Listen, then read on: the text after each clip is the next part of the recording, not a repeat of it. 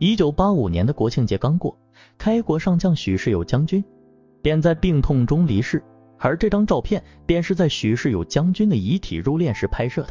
照片中的他静静地躺在床上，宛如一个安详的睡者。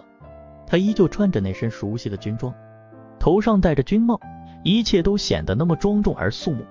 然而，尽管被子掩盖了大部分身体，我们仍能看出他的面色惨白。